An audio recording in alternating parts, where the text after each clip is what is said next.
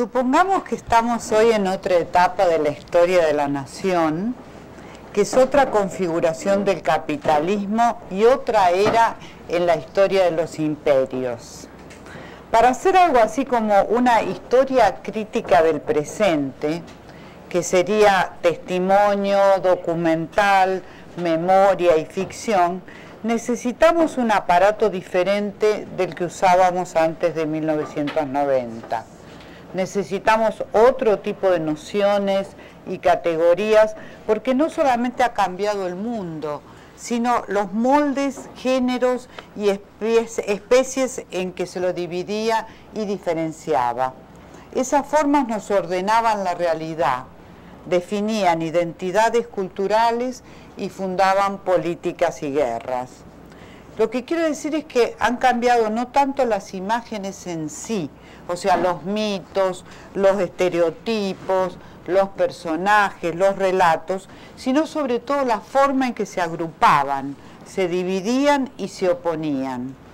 Y también la forma en que se usaban. En literatura, por ejemplo, caen las divisiones tradicionales entre formas nacionales o cosmopolitas. Todos los que estudiamos literatura hemos visto que se la diferenciaba así, literaturas nacionales, literaturas cosmopolitas, formas del realismo o formas de la vanguardia, o literatura pura y literatura social. Eran eran como casilleros en que se ordenaba la literatura y, también hasta puede caer la diferenciación entre realidad histórica y ficción.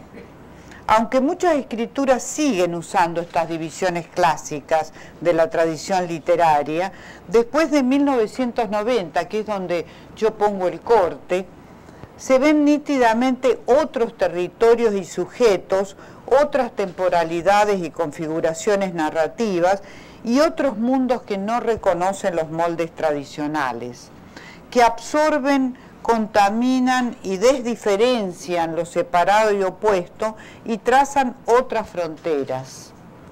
Por ejemplo, literatura urbana y rural ya no se oponen, sino que mantienen fusiones y combinaciones múltiples la reorganización del mundo, que opera, así lo llamo, una reorganización del mundo en función del cambio de modos en que se lo clasificaba y se ordenaba. Y eso implica un mundo diferente, que se reorganiza de otro modo. La reorganización del mundo que operan hoy algunas escrituras implica una caída de fronteras que se reproduce en el plano público, político y jurídico, mientras se refuerzan las fronteras para los cuerpos desplazados. Con esto quiero decir que fronteras eran las que separaban, por ejemplo, literatura realista, literatura fantástica, literatura urbana, literatura rural. Esas fronteras caen, pero al mismo tiempo que caen esas fronteras y, y con esa caída se reorganiza el mundo, otro tipo de fronteras visibles, materiales, y muchas veces eh, coercitivas aparecen en el mundo. O sea, uno podría decir que el mundo actual después de 1990 es un mundo en que caen y surgen fronteras, es un mundo en que eh, se produce una reorganización en virtud de esos nuevos trazados de fronteras y reorganizaciones de pasajes entre distintos territorios. Este parece ser uno de los movimientos del presente, caída y fortalecimiento por otro lado. Es un doble registro que se reproduce sin fin y hace que las escrituras desdiferenciadoras convivan con las anteriores, las que refuerzan las fronteras y oponen nítidamente las formas de la tradición. Con eso quiero decir que al mismo tiempo que cae la separación entre literatura urbana y rural, porque la urbana absorbe la literatura rural, al mismo tiempo todavía podemos ver que hay escrituras que aparecen que siguen respetando este molde anterior de modo que hay nuevas escrituras que desdiferencian, literatura urbana y rural, por ejemplo, o fantástica y realista, pero al mismo tiempo hay otras que siguen con las diferenciaciones anteriores. todas están presentes, funcionando sincrónicamente como en una especie de exposición universal que quisiera contar, supongamos, la historia de la literatura latinoamericana. Porque con la presencia del pasado en el presente, con esa especie de superposición de temporalidades que hace que todas las épocas y lugares aparezcan en el mismo territorio del presente, la literatura de hoy, y no solamente la literatura de América Latina, la literatura en general de hoy, cuenta eh, todo el tiempo la historia de la literatura con otras categorías históricas. Los estilos y formas que antes se oponían y sucedían, ahora conviven y se exhiben como si fuera en, sincro y en fusión. Esto quiere decir, uno decía, el realismo del siglo XIX surgía, por ejemplo, el modernismo de fin de siglo, luego surgía la vanguardia. Este tipo de historia lineal de la literatura es la que ya no registramos hoy. Hoy registramos la convivencia de todos estos estilos que antes se sucedían. O sea, la diacronía, lo que llamamos la sucesión temporal, aparece como en una especie de contemporaneidad, en sincro, en sincronía. Y eso le da una densidad a la historia del presente que no tenía antes. Eh, este régimen aparece como una especie de exposición universal. Toda la historia se expone como si fuera en un panel, porque hay escrituras que imitan las escrituras medievales, las escrituras antiguas, las escrituras del siglo XVIII, del XIX, del XX, de la vanguardia de los realismos. Entonces las tenemos todas como en una especie de panel, exposición universal. ¿no? Por eso les decía que quisiera contar de otro modo la historia. Están todas eh, presentes en el presente. Esa es la idea, ¿no? Este régimen produce efectos de sobreimpresión. Están como justapuestas y sobreimpresas las distintas etapas históricas. Esto es algo que vemos hoy con mucha nitidez, no solamente en la literatura. ¿eh?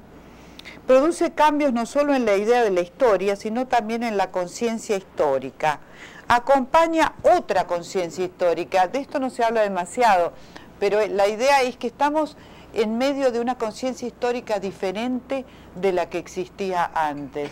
La del presente es otra conciencia histórica, donde el antes, podemos decir, todos los antes, todos los pasados, están presentes aquí y ahora en esa especie de exposición universal y donde coexisten la desdiferenciación y diferenciación de fronteras entre formas, estilos y géneros.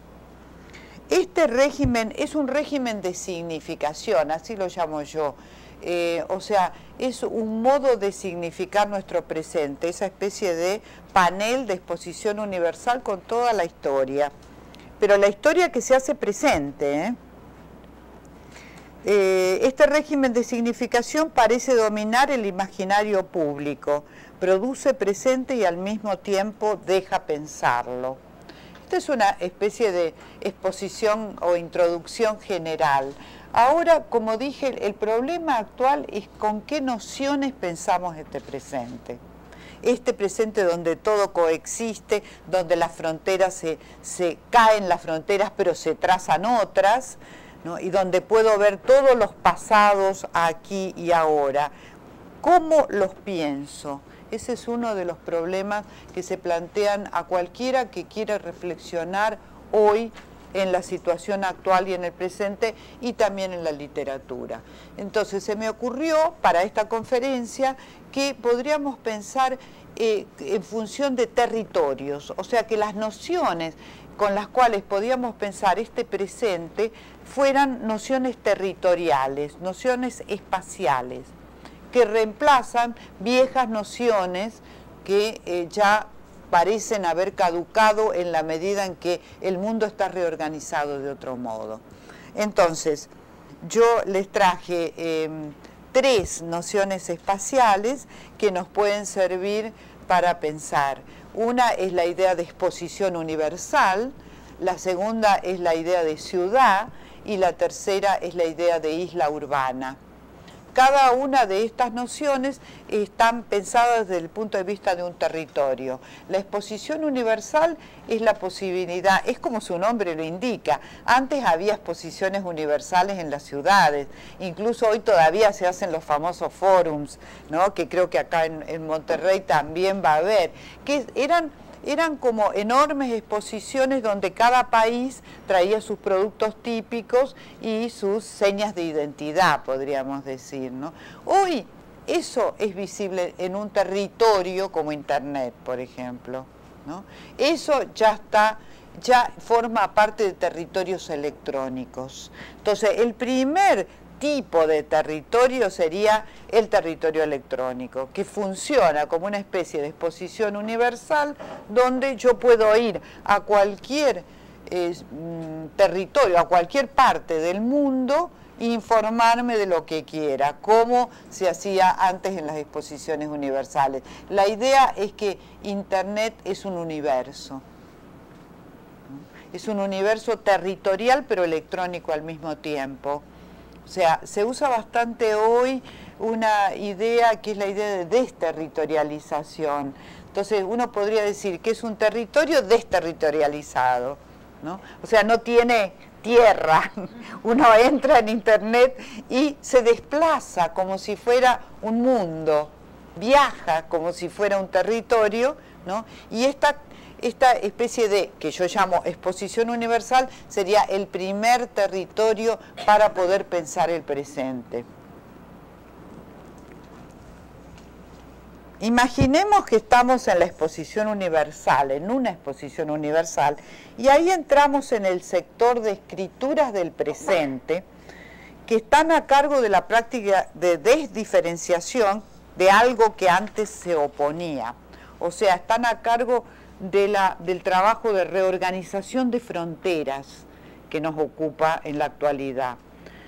Como les decía, vemos rápidamente que desaparece la literatura rural latinoamericana, que todavía podía leerse en los años 60 y 70, en los textos, por ejemplo, del Boom, García Márquez, Vargas Llosa, Fuentes, y que en muchos casos fue el sitio de relatos de identidad nacional, hasta los años 70 se pensaba en una Latinoamérica rural, en esa etapa de las naciones y del capitalismo. Fíjense cuán avanzada fue esa identidad, cuánto tomó del siglo XX esa identidad rural. Llegó hasta los años 70.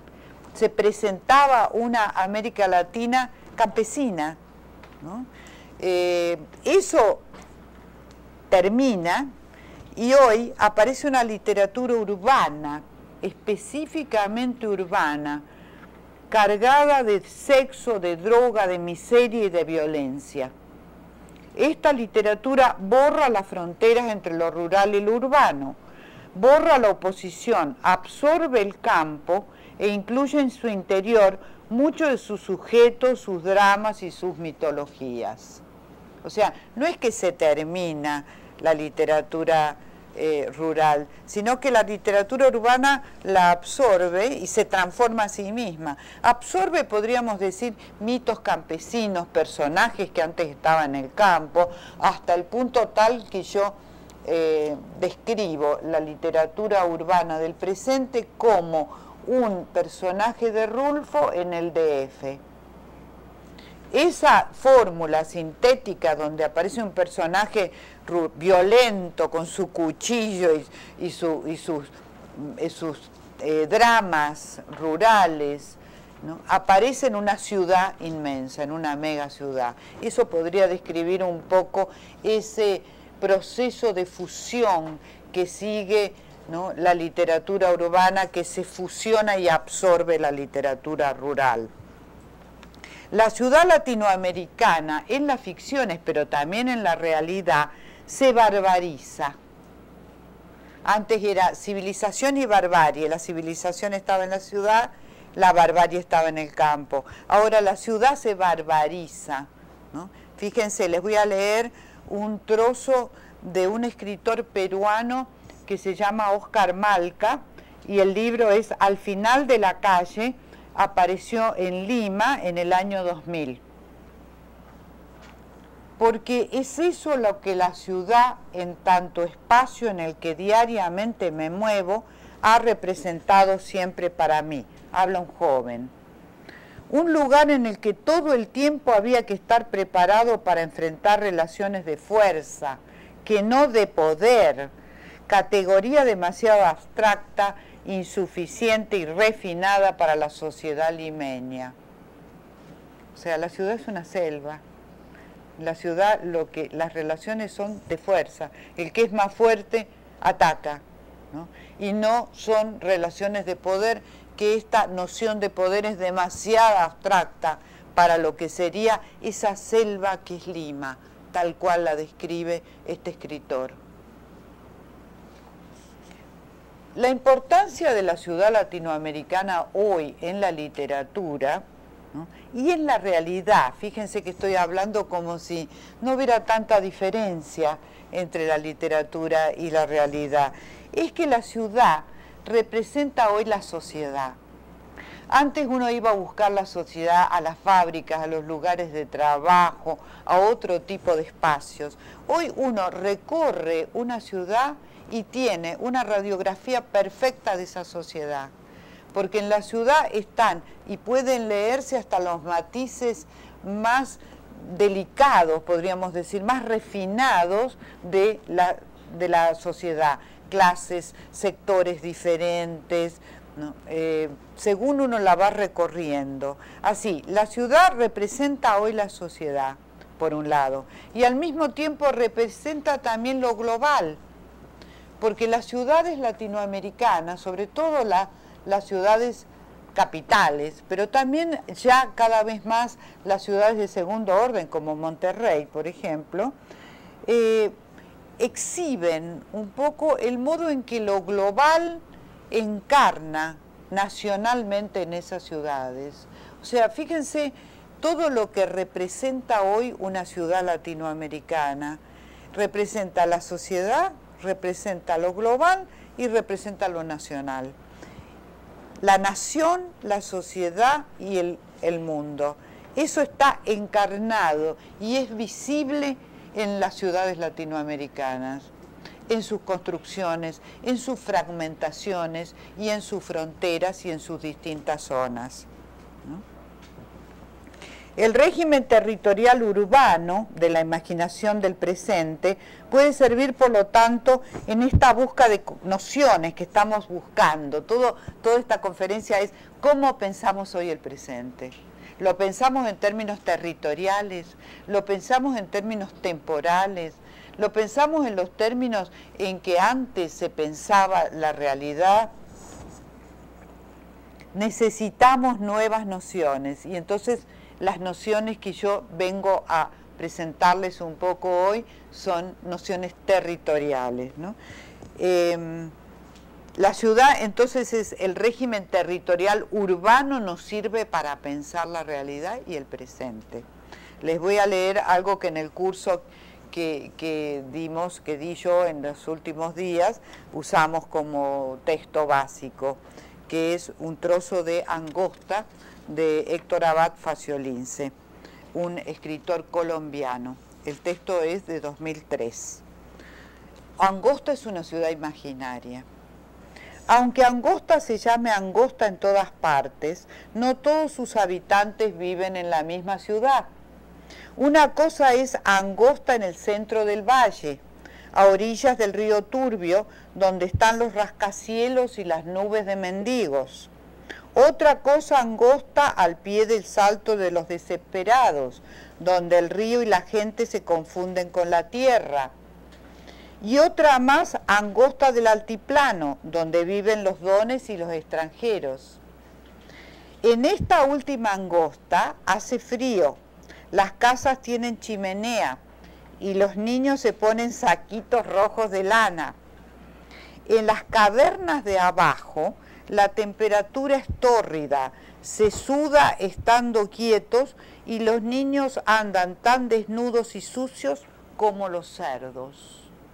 Fíjense lo que es esta ciudad imaginaria latinoamericana colombiana concretamente, en esta forma de segmentación, con una zona primer mundo, podríamos decir que se llama la zona fría, y una zona de abajo, que es la zona tórrida, donde los niños están casi confundidos con los animales. Aquí tenemos tres mundos, porque hay una zona intermedia también. Tenemos los tres mundos encarnados en una ciudad, que es Medellín, que es al mismo tiempo Colombia y que es al mismo tiempo los tres mundos de la globalización, primero, segundo y tercer mundo, si uno quiere pensar así, ¿no? sobre todo primero y tercero, ¿no? si uno quiere pensar así el proceso de globalización. Entonces, fíjense que la ciudad, el territorio urbano, los absorbe a todos. Es ciudad, es nación y al mismo tiempo es globo, es globalización. El principio de esta ciudad colombiana imaginaria, tal cual aparece en esta novela, es la división en tres zonas y sectores, sectores con K, que son sectores sociales económicos y al mismo tiempo climáticos. Por eso dice que arriba hace frío y abajo se suda estando quieto.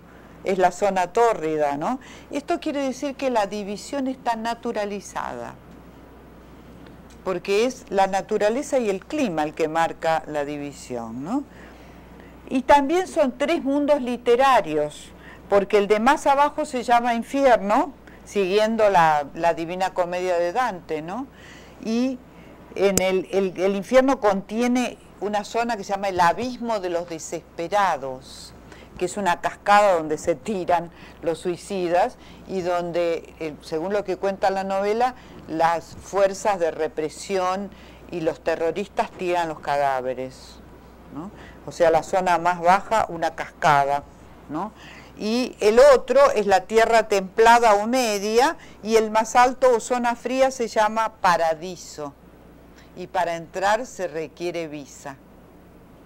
O sea, la ciudad está sectorizada, dividida como, si como el mundo está dividido y dentro de la misma ciudad se necesita una visa o salvoconducto para pasar de una zona a otra, para entrar en la zona fría, que es lo que podríamos decir el primer mundo. ¿no?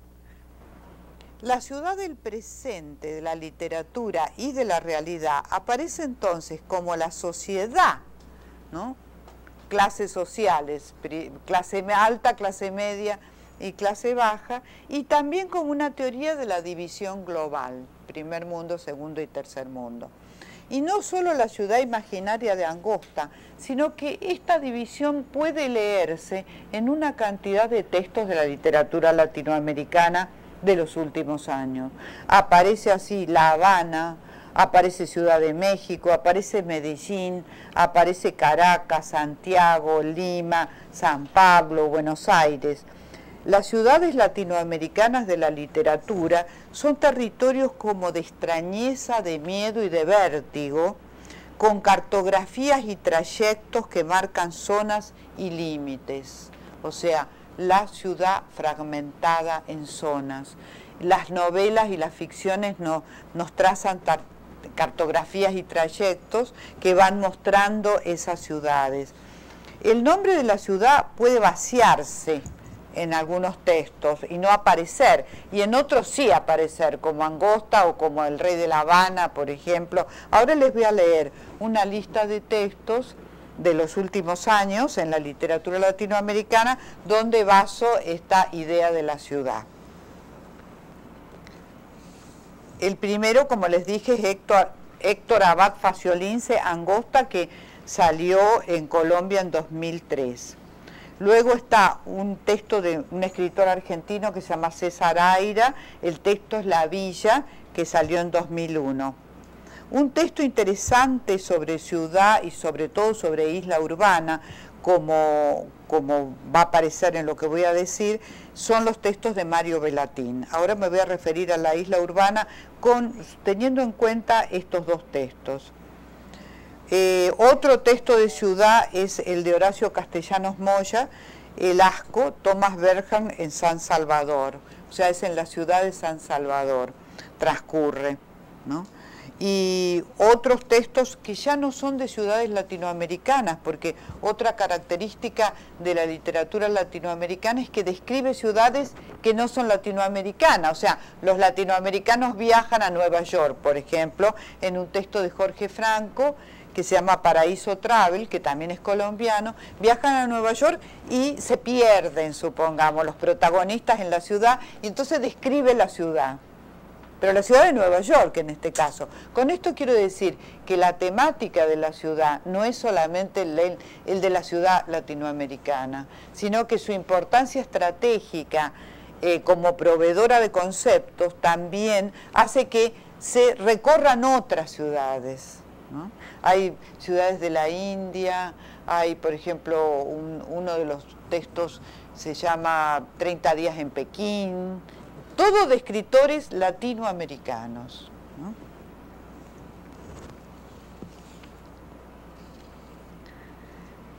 Dentro de la ciudad, dentro de esta ciudad sectorizada que la literatura nos describe recorridos distintos, encontramos otra noción importante para pensar el presente, que es la noción de isla urbana, que es un territorio interior a la ciudad cerrado, con límites, donde los personajes pueden aislarse en cierto modo y constituir comunidad. O simplemente o una sección de la ciudad también puede ser. Por ejemplo, en esta cita del escritor cubano Antonio José Ponte, el texto se llama Contrabando de Sombras y apareció en Mondadori en el año 2002, todo transcurre en un cementerio de La Habana y lo describe así. Dentro del cementerio, las calles tenían las mismas denominaciones en letras y números que en la ciudad de afuera. Entonces el cementerio funciona como una ciudad dentro de la ciudad con los mismos nombres de calles. La idea es que el cementerio eh, constituye una isla urbana, que es donde transcurre sobre todo la ficción de esta novela Contrabando de Sombras. ¿no? Entonces, así como digo yo, él mismo está contenido en un régimen global, así como el régimen urbano está contenido en el régimen global, dentro del régimen urbano ¿no? hay otros regímenes, otras formas. Las ciudades brutalmente divididas de las escrituras y las imágenes del presente tienen en su interior áreas, edificios, habitaciones y otros espacios que funcionan como islas, con límites precisos. Y hay acá una cantidad de escritores que se los menciono rápidamente, que son los que más constituyen isla urbana, pero me, interesaba sobre todo referirme a un escritor mexicano, que encontré acá con que es este Mario Velatín porque como estamos en México, digamos, quería leer esa parte ¿no? de un texto muy impactante de Mario Velatín, que se llama Perros e Héroes, no sé si lo leyeron. Ya lo voy a encontrar.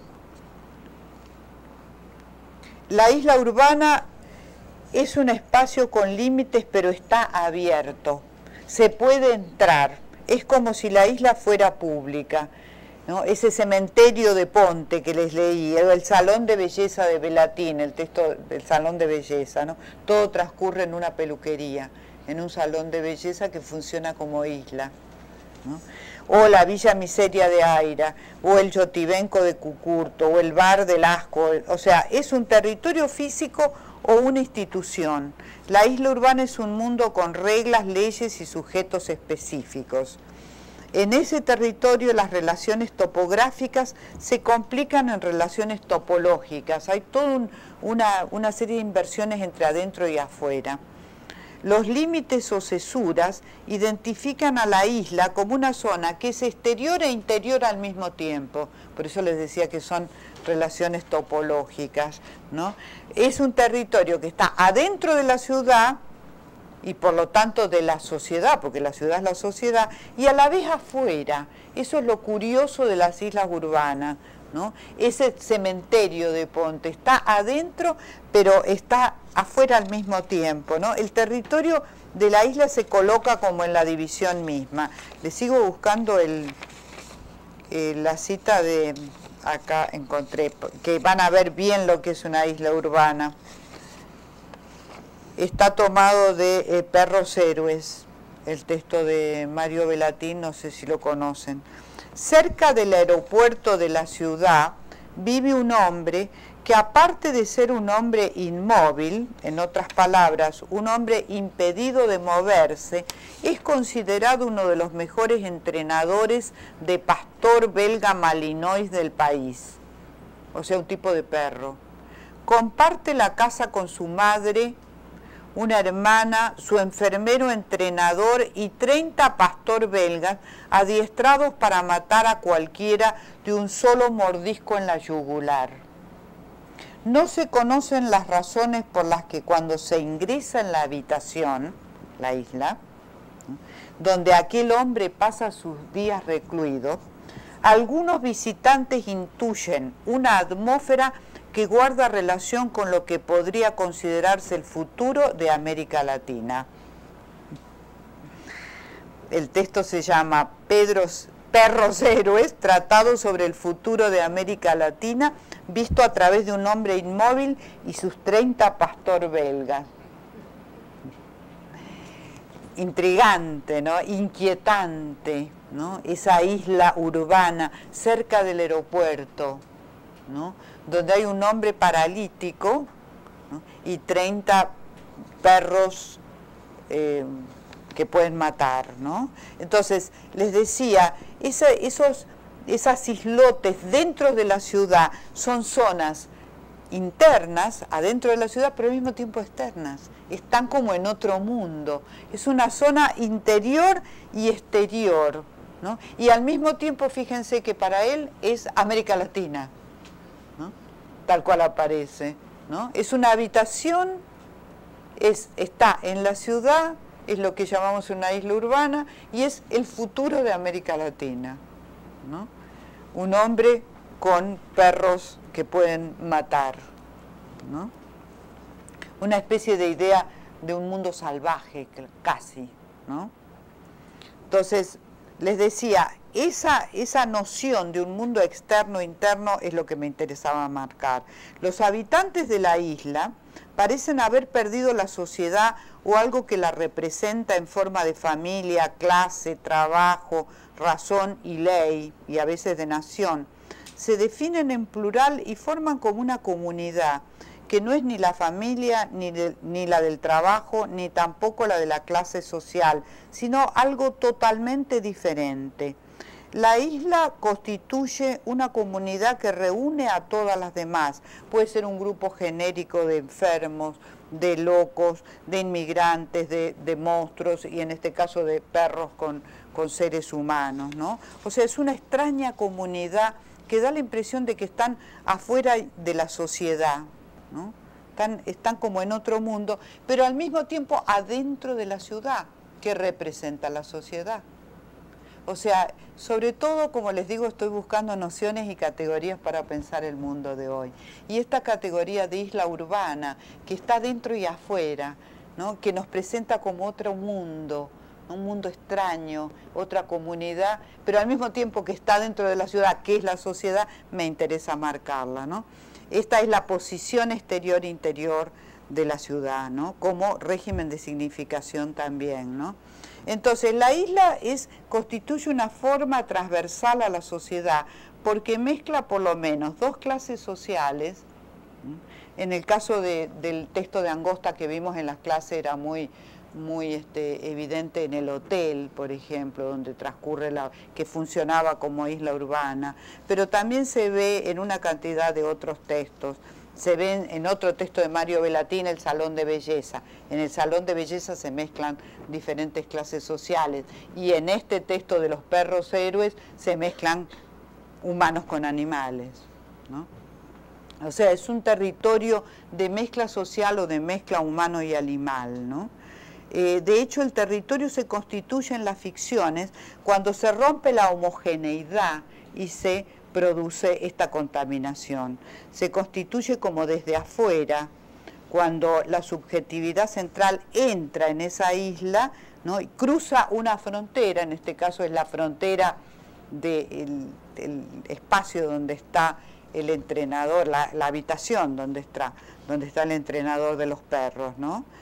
Cruza, entra y queda allí por un tiempo el que dura la ficción. Con esto le quiero decir que la ficción consiste en alguien que entra allí, en esa habitación, pasa algo allí adentro y luego se abandona la isla urbana y se va y se termina la ficción. La ficción consiste, la novela consiste en entrar a ese territorio, ¿no? Y luego salir. Y el territorio por lo general se abandona, ¿no? Em, les decía entonces que es como una especie de régimen de significación, ¿no?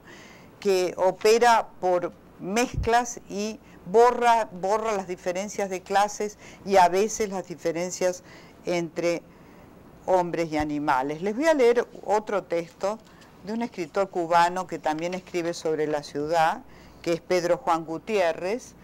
Eh, la novela se llama El Rey de La Habana, y es un personaje que recorre La Habana precisamente, una especie de desecho social, ¿no? un, joven que, que, no tiene trabajo, no tiene ningún tipo de inserción y que recorre la ciudad y que describe en cierto modo la crisis que sufrió Cuba eh, en los años fines de los 80 cuando la Unión Soviética se fue y los dejó un poco librado a su, a su suerte, ¿no? Entonces, ¿qué pasó en esa crisis? Dice, cito, aquel pedazo de azotea en la casa era el más puerco de todo el edificio. Cuando comenzó la crisis de, en 1990, que es el corte que nosotros usamos para pensar el mundo de ahora, ella perdió su trabajo de limpiapisos. Entonces hizo como muchos, buscó pollos, un cerdo y unas palomas y los puso en la casa. O sea, esa idea de una isla urbana donde por un lado pueden contaminarse distintas clases sociales, pero también donde pueden contaminarse animales y personas, reaparece constantemente en la literatura latinoamericana de hoy.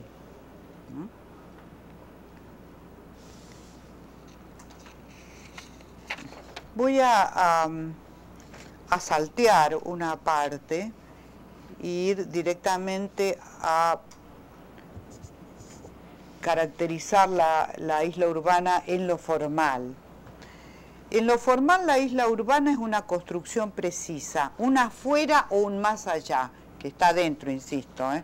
Es un afuera verbal y narrativo y no solamente social o humano. La subjetividad central aparece de los textos, ¿no? por lo común, desde el punto de vista social, como interna y externa al territorio mismo, y a su vez esta posición está vista desde afuera por un narrador.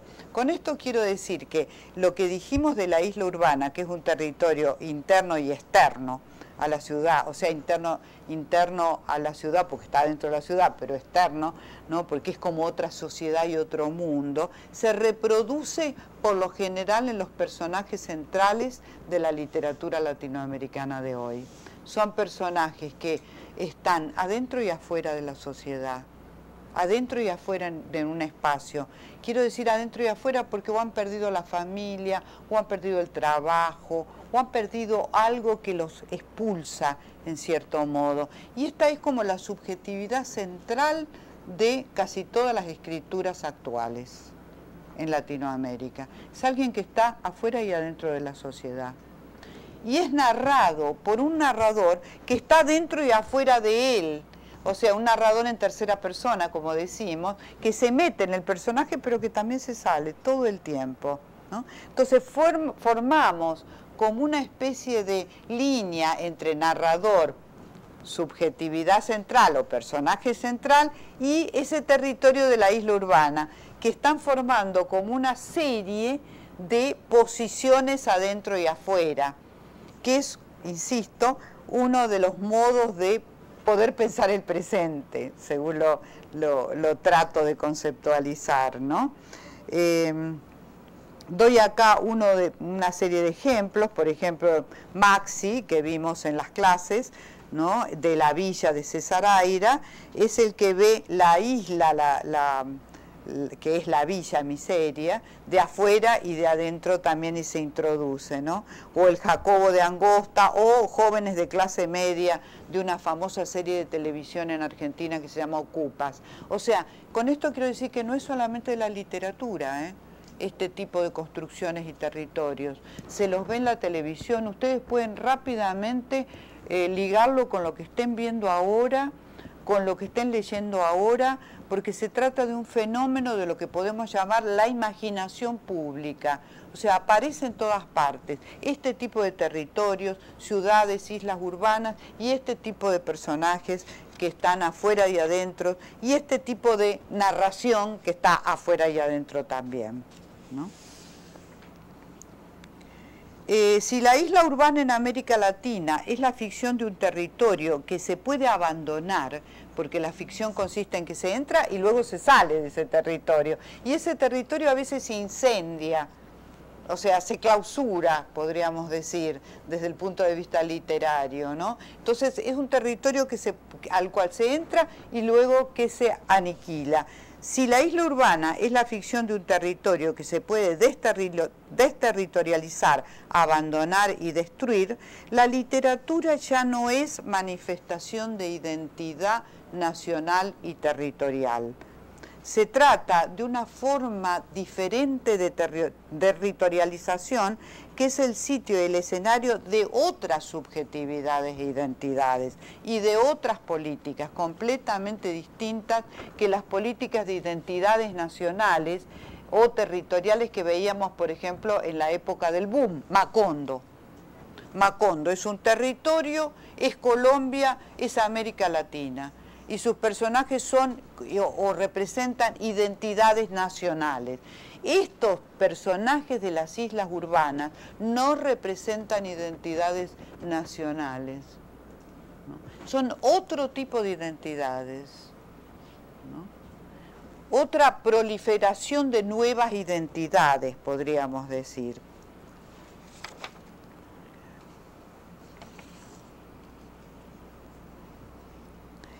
Eh, lo, que, lo que me interesa marcar ahora un poco como para terminar y poder dialogar con ustedes es que este régimen de significación de la isla urbana se presenta sobre todo como ambivalente desde el punto de vista político-ideológico. Antes uno leía leía, por ejemplo, Macondo o leía las novelas del boom y sabía perfectamente ¿no? la posición del autor.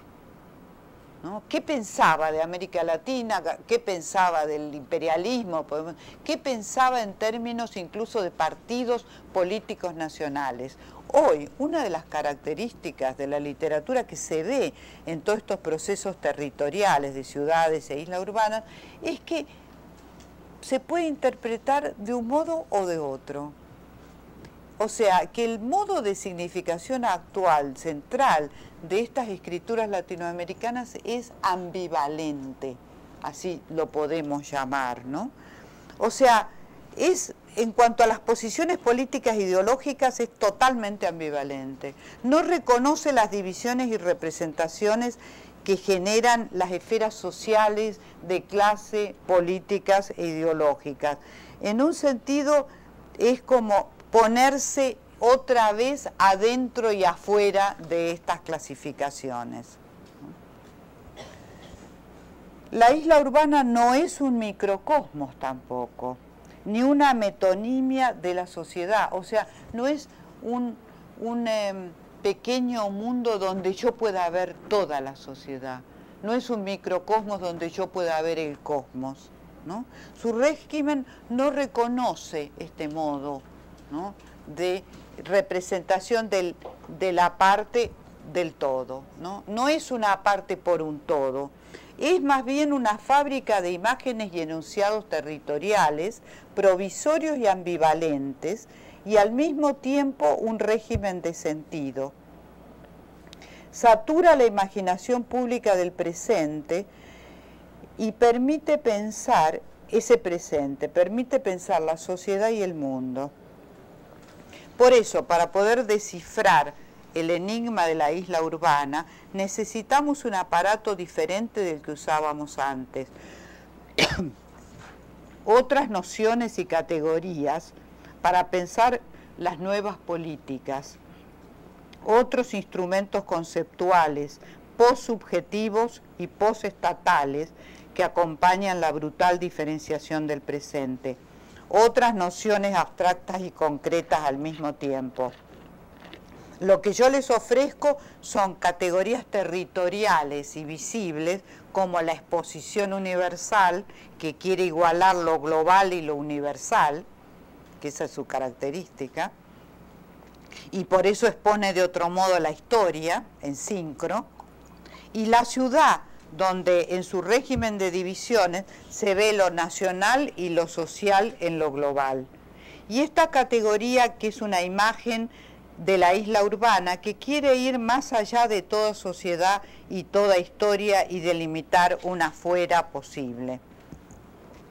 En estas categorías hipotéticas e imaginarias son, ¿no? Sincronizan, estas categorías sincronizan lo económico, lo cultural, lo social, lo político, lo nacional y lo global. Y en ellas se puede leer lo antes separado. Terminan con todas las esferas y las autonomías, incluidas la de la literatura.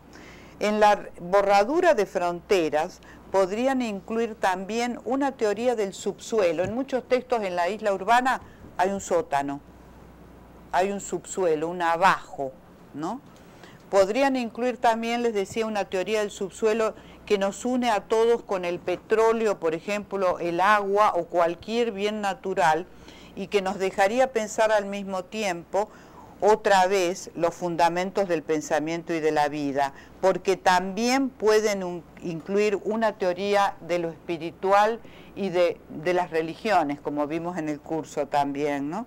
De la mente y de las creencias sobre todo, que acompaña la teoría del subsuelo biológico de la isla urbana en este territorio del presente de América Latina.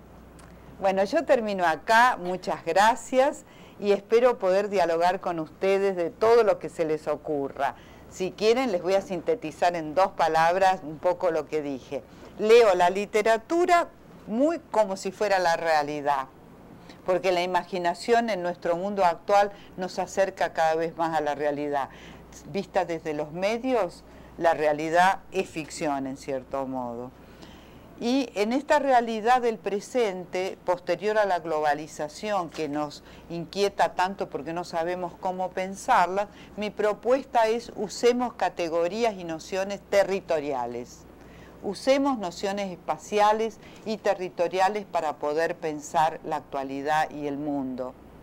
Concentrémonos en la ciudad como una forma que concentra lo social, lo nacional y lo global. Y dentro de la ciudad pensemos en las fronteras que separan los distintos sectores, pensemos en las islas donde la gente se refugia y se encierra y hace comunidad.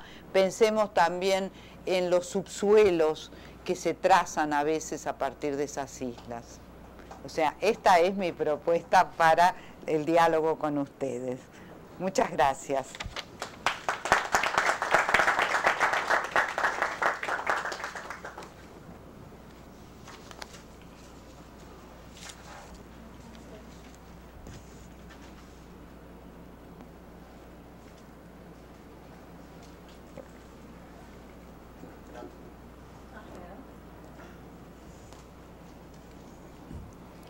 Le, agradezco y felicito la, propuesta y la, las pláticas que nos dio y que nos ha dado todo este, este, mes.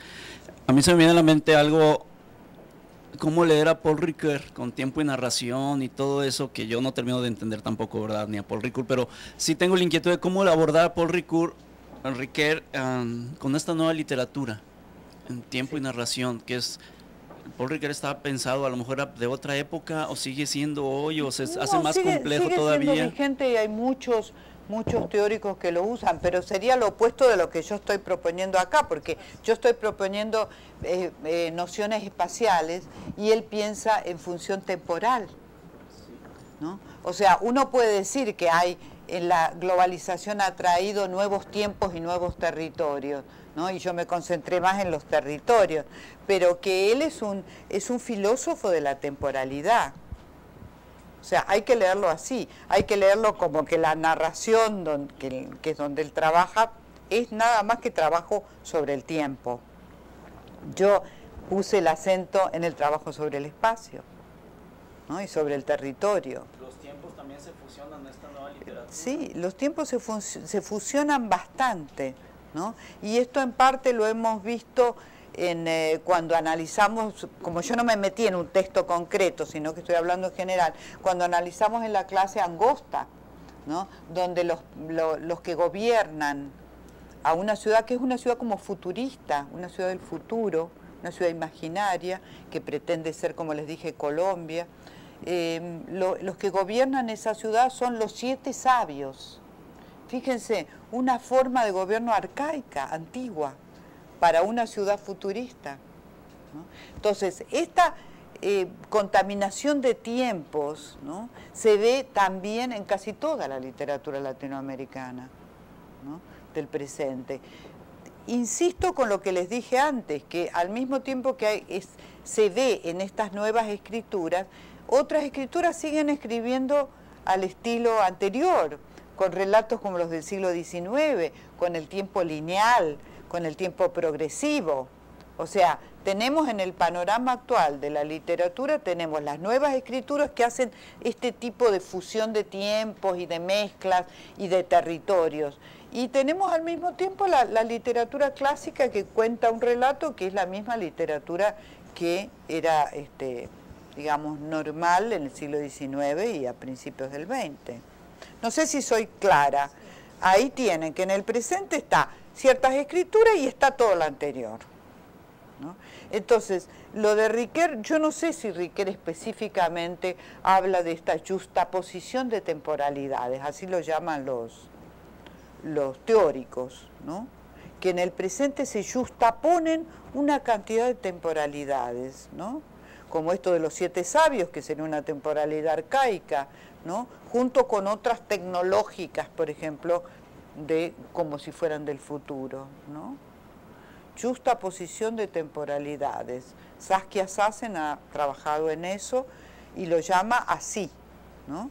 Y dice que hay temporalidades de lo nacional, temporalidades de lo global que son diferentes, porque en realidad estas temporalidades son velocidades. No, sé si te contesto lo de Paul Ricker. Yo tengo una pregunta, siguiendo un poco en esta eh, lógica tuya de que la literatura refleja la realidad cada vez más. No refleja, es. Es la realidad. Muy bien. Creo que todos los que vivimos en ciudades ahora las medianas, pero definitivamente las grandes como México, San Paulo, Buenos mm. Aires, ¿no? Este, tenemos esta conciencia de que no vivimos la ciudad completa, ¿no? que vivimos en sectores de la ciudad. ¿no? De hecho, hay gente de México que dice, yo no, voy al sur nunca porque no conozco y me pierdo. En todas, partes, ¿eh? en todas partes, estas ciudades grandes y a Monterrey creo que nos está pasando ya también, ¿no? que hay pedazos de la ciudad que desconoces y que no los vives, que no son tu ciudad. Este, entonces, eh, esa realidad la veo yo como que se está representando en textos como el que vimos de La Villa, ¿no? En que es un sector de Buenos Aires nada más, ¿no? O este, en el que nos mencionaste de Daniel Link de Montserrat, que también es un... que se mueve todo, toda la, ficción se mueve en una zona pequeña. Es pequeña de la ciudad, sí. Entonces, la, la, pregunta sería si esto está apuntando a que eventualmente el concepto de ciudad en sí no va a ser un concepto válido sino más bien, eh, porque nadie lo vive como tal, ¿no? sino más bien que vamos a tener que repensar en fragmentos de la desde la subjetividad. sí, obviamente, sí, sí. O sea, no hay ningún ninguna obra, salvo Angosta, me parece a mí, que recorra la ciudad completa, ¿no? O sea, salvo una ciudad imaginaria, porque una, una mega ciudad de hoy, una ciudad grande, es imposible de recorrer. Yo no conozco un montón de... Eh, como todos, todos nos movemos en, un, en el sector donde vivimos o donde trabajamos y se terminó. Eh, de modo que sí, eh, ya está apareciendo la literatura de zonas, como la Villa, por ejemplo, Montserrat, este, Bolivia Construcciones apareció en la Argentina, que también es, un, es un, una zona, se está zonificando, sectorizando también la imaginación, ¿no?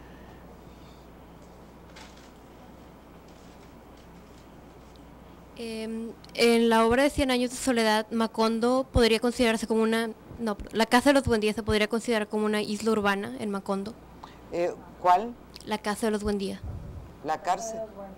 Como una isla urbana. La Casa de los Buendías sería, dices que como isla urbana. Yo creo que no rigen esas categorías en Macondo, ¿no? Porque eh, Macondo es otra cosa. Macondo representa un mundo, ¿no? Está fundado, fíjense, fundado y también eliminado. ¿no? En la casa, ustedes pueden usar esa categoría de isla, pero yo creo que se aplica más para la literatura de ahora, ¿no?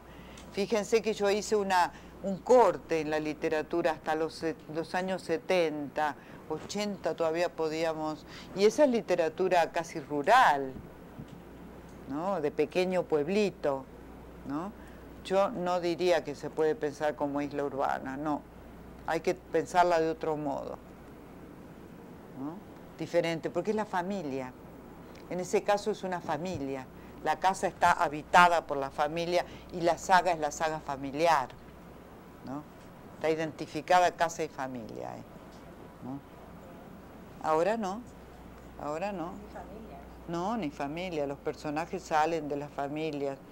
O sea, esa, articulación tan perfecta que tiene ¿no? la obra de García Márquez, ¿no? la familia, la historia, va, contando partes de la historia de Colombia y también como una linealidad narrativa, va hacia adelante. Eso es muy difícil de encontrar hoy, en la literatura de hoy. Por eso les decía, es un mundo que todavía estamos tratando de poder pensarlo, tratando de buscar los conceptos para poder pensarlo. ¿no? El otro mundo era, digamos, muy estable, ese es como el mundo clásico, ¿no? La familia, la historia, la historia nacional, Yo tengo una duda, si esto solamente se queda en la literatura latinoamericana o es un reflejo internacional, porque estaba yo viendo muchas de esas características en Paul Oster, cuando habla de, trilogía de, Nueva York y en otras en otro tipo de obras de él que maneja cuestiones muy similares. Sí, eh, muy buena pregunta. Eh, sí, efectivamente. Hoy es difícil a veces poner una característica de la literatura latinoamericana, porque enseguida la gente que lee literatura extranjera dice, ah, no, pero esto pasa también ahí. Y entonces, ¿cómo pensamos lo, lo latinoamericano como parte diferencial? Ese también es uno de los problemas. ¿eh? O sea, sí, efectivamente en la literatura global, internacional y, si ustedes quieren del primer mundo, aparece el mismo fenómeno de ciudades. Aparece, por lo tanto, ¿no? todos estos procesos y estos fenómenos. ¿no? Entonces, ¿qué ocurre? ¿Es la lengua lo que nos va a diferenciar lo latinoamericano de, lo global, en este caso, bueno, el inglés y el, el castellano? ¿O ¿Cómo hacemos para recortar? O simplemente porque estamos pensando en Latinoamérica, nos interesan, ¿no? ¿Cómo hacemos? Esta es una de las dudas que yo les transmito honestamente también, ¿no? No hay una diferenciación tajante entre literatura latinoamericana y otras literaturas, no la hay. Y el fenómeno se puede repetir, ustedes lo pueden encontrar. Sí. Hay, hay una chica que quiere la... Eh, es esencial para los personajes de la, de la isla urbana no tener esa estabilidad como, no sé, una alguien divorciado o alguien huérfano o alguien... O sea, los personajes tienden a ser así siempre. de modo que sí, es esencial porque los define.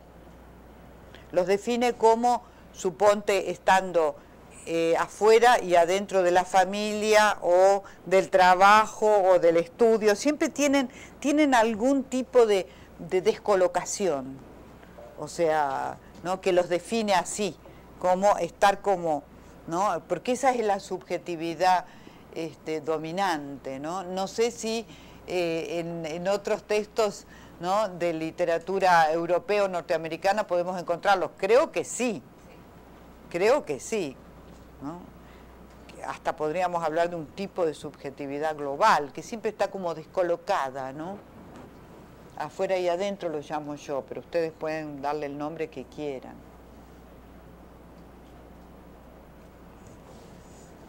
yo, me he quedado pensando mucho en, bueno, en todo lo que has dicho y en una categoría que tiene que ver con la lengua en que se escriben estas novelas y que en algunos casos pareciera ser algo más estandarizado, eh, internacional, en donde no aparecen regionalismos, no hay una marca de la lengua, por decir, colombiana, mexicana, argentina, salvo algunos registros.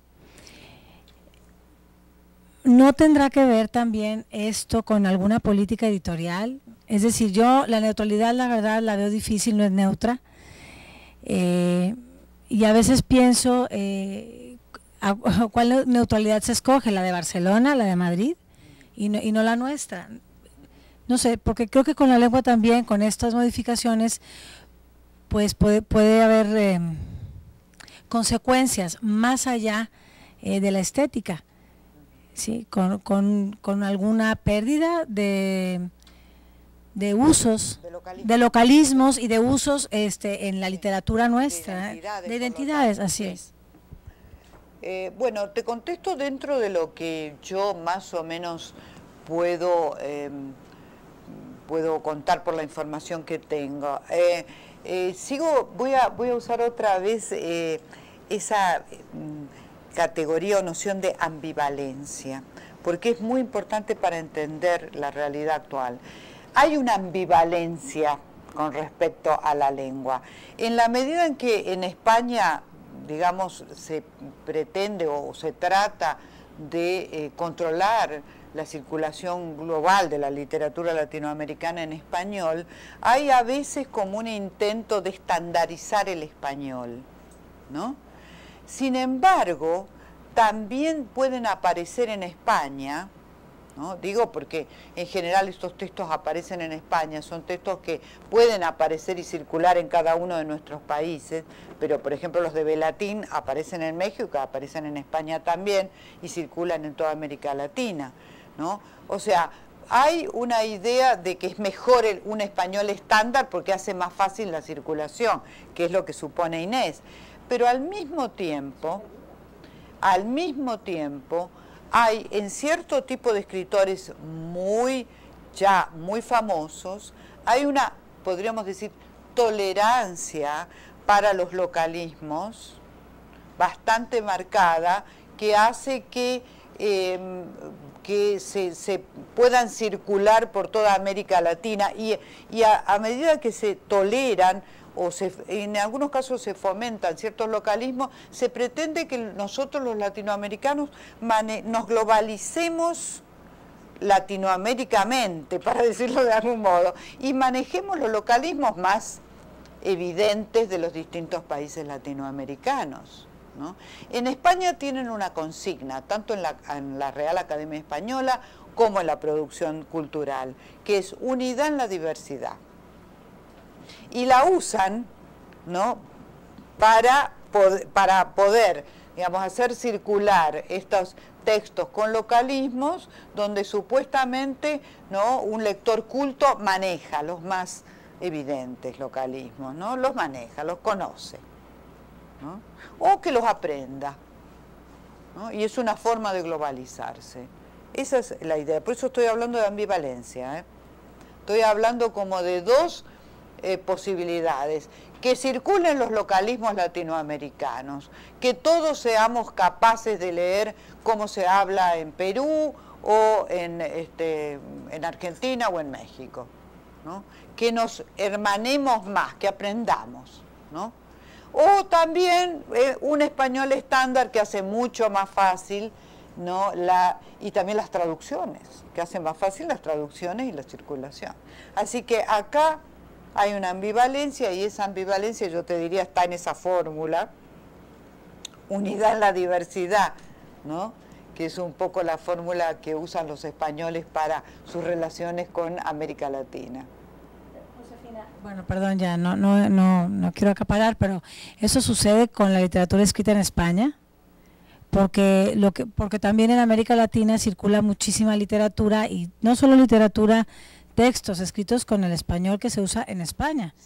¿no? Entonces, este, no, no, no se aplica la misma política. Sí, ¿no? Lo que yo te diría es que no es una política explícita. Esa política explícita eh, funcionaba mucho. Yo me acuerdo, yo fui muy amiga de Manuel Puig. Manuel Puig este, publicaba en Seis Barral en los años 70, 60, 70. Y se quejaba con todos los amigos de que le cambiaban vereda acera, pollera falda, o sea, le cambiaban, le corregían directamente. ¿eh? Eso era una política editorial de los años 60 con el boom. O sea, en el boom de la literatura latinoamericana había cierta intervención editorial en España para corregir.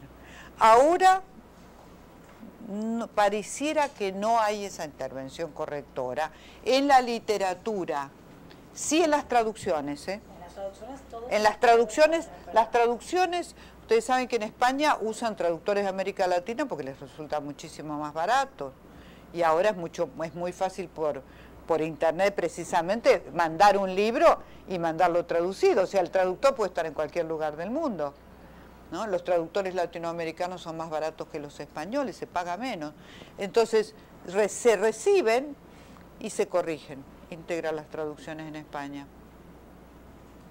¿Todas las traducciones son españolas? Todas las traducciones son españolas. Sí, todas las traducciones, aunque no sean españolas, ¿eh? Aunque sean latinoamericanas, resultan siendo españolas, porque normalizan la, lengua. ¿No? Pero la normalización, el, canon es España, es la lengua española y los modismos o los lunfardos, digamos, o los, localismos son los localismos españoles. Pero la, la, la, utopía, entre comillas, que maneja España es que nos entendamos según cada uno cómo habla. Pero nosotros tenemos que aprender el español todos los modismos españoles y hay que ver si ellos van a aprender o aprenden los modismos latinoamericanos. ¿No? Hay que ver si la relación es de igualdad. Así se postula, pero hay que ver si en la realidad hay una relación de igualdad. ¿no? las historias que tienen muchos localismos no podría, no podría afectar la manera del lector de verlo en vez de como isla urbana que se confundiera y pensara que fuera un microcosmos. O sea, bueno, no sé, que tal vez si, usan muchas palabras regionales o lo que sea de... En general la literatura que usa muchas palabras regionales, desde el punto de vista editorial, que es lo que está preguntando Inés, aparece en el país y circula adentro, no más, ¿no? No, tiene que ser un escritor muy notable, ¿no? Para que lo publiquen en España, ¿no? De modo que En general circulan nada más y son entendidas y comprendidas en el interior de sus países. Pero, por ejemplo, pienso en los clásicos latinoamericanos, en Rulfo. Rulfo usa localismo, y localismo de Guadalajara incluso, ¿no? Pero eso no se puede tocar, porque es un clásico. Entonces creo que el escritor, como les decía antes, para poder... Em, digamos, legalizar los localismos tiene que ser reconocido como un gran escritor y un clásico. Un joven escritor que use muchos localismos quizá no salga por ahora, si no se convierte en un clásico, no sale de la circulación local. Yo tengo otra pregunta. Ahora que sacas en tu, en tu lectura a Mario Velatín, que es un escritor que a mí me gusta mucho, este, sí, eh, sobre la manera diferente de narrar la ciudad, ¿no? Este, no sé si tú puedas hacer algún comentario alrededor de, bueno, Belatín, ¿no? Narra una ciudad que puede ser cualquier ciudad, ¿no? No da ninguna marca y pensando en Aira, ¿no? Que por ejemplo te describe las... las ajá. Eh, él lo llama una ciudad, pero siempre se basa en una ciudad específica. O sea, no sé si me, me, entiendes. Este, por ejemplo, en em, Canon Perpetuo, que es una, una de Belatín de los años 90, eh, se dice la, la, señora no sé qué estaba en una ciudad, es La Habana, como va saliendo de ahí, está el malecón, está en, o sea, son ciudades diferentes, pero él lo pone en general, dice, en una ciudad había una mujer, porque tiene un modo de narrar como este, universalizante, podríamos decir, ¿no? Deslocalizante. Deslocalizante, pero en el imaginario, cuando él describe una ciudad, donde estaba la calle, donde, eso, él, está pensando en una ciudad concreta, ¿no? pero la, la, transforma en abstracta. Lo mismo en esto que les leí de, de Perros Héroes, dicen cerca del aeropuerto en una ciudad, es México. ¿no? Es si la estandarización del lenguaje no afecta eh, la definición de la, de, la isla urbana, o sea, que, el, que se pierda como que la lo que caracteriza una, una cierta zona, o sea, que se estandarice, no afecta la, la definición. No, no, no mm. afecta, no afecta la ficción. O sea, esa isla urbana puede estar descripta en cualquier tipo de lenguaje. Sí. Sí.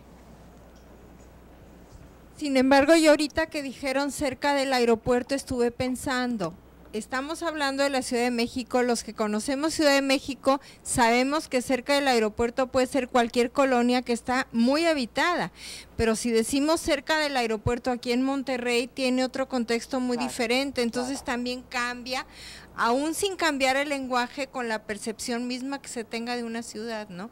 Aunque se sepa de cuál. No, pero él cambia el lenguaje, porque como, como dice Ricardo, acá lo que hace la operación de Velatín literaria siempre es vaciar de contenidos locales y nacionales y hacer una especie de literatura casi abstracta, diría yo, eh, y casi y absolutamente cosmopolita también, ¿no? Con personajes, con lugares que parecen chinos, ¿no? con personajes japoneses, o sea, es una especie de deslocalización lo que él usa, ¿no? deslocaliza, ¿no? Eh, vacía, podríamos decirla. Dice en una ciudad, ¿no? como si fuera un cuento, vieron un cuento, en una ciudad había ¿no? Ese tipo de escritura usa Belatín y es muy eficaz. A mí me gusta mucho. ¿no? O sea, deslocaliza. E, en ese sentido es como que su, su, literatura se postula en contra de los regionalismos y localismos. Muy militante, ¿no?